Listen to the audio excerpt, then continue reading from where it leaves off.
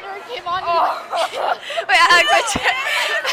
and then it was Jacob was Jacob rolled his shirt off. One heart broke and fell in the car. Oh my god, I love Pivot! Wait, Alex, what was your. Wait, what part did you cry on? When Edward broke Bella's heart. Oh my god. Jacob, by the way, is a dime piece. Not gonna lie. Jacob's Jacob, fine. Jacob is the dime piece. He's fine. Dime piece. But I'm Edward all the way. Still, I'm Edward.